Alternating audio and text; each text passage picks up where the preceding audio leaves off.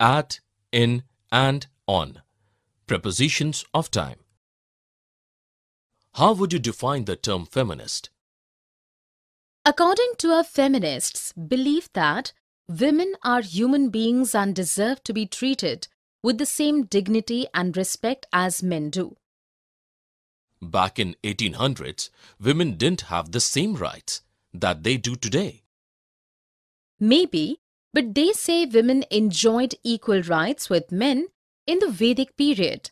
In the recent years, many changes have been made which shed new light on the empowerment of women. Do you think women are enjoying social status? Of course they are. There have been positive practices of women as subject of respect in India and there have been regressive practices as well. Such thinking is commendable at the moment. On Sunday, I'm going to be in Kerala to witness an exceptionally remarkable annual ritual of worshipping women in this month. In the dialogues, we come across the times preposition at, in, and on.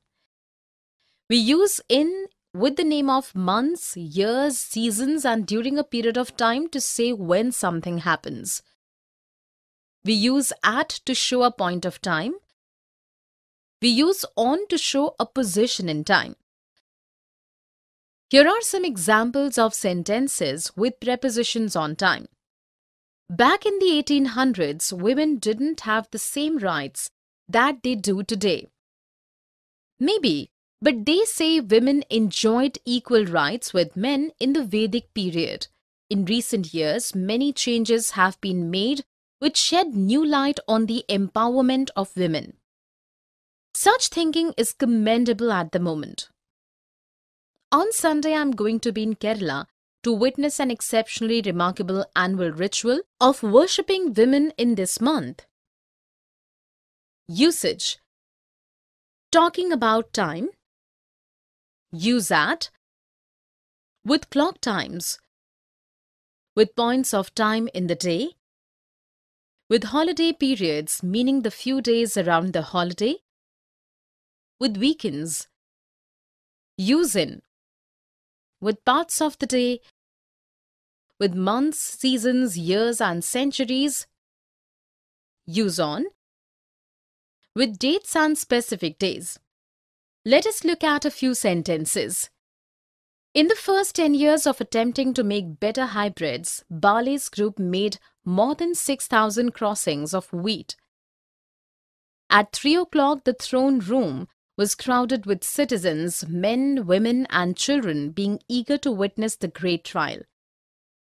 I was born on 27 June 1990 in Delhi, the capital city of India. In the first sentence, in is used to state during a period of time. At in the second sentence is used with clock time. On in the last sentence is used with date. Here are few more examples of sentences with prepositions of time. In 1953, he developed a method to make strains of wheat highly resistant to a single form of rust. At the same moment, the bell struck and school was dismissed.